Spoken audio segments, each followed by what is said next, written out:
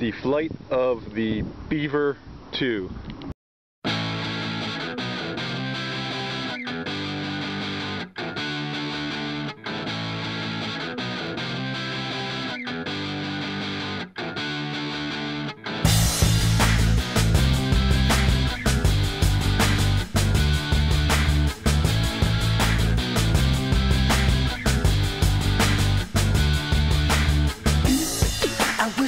I fly into the sky so very high, just like a dragonfly.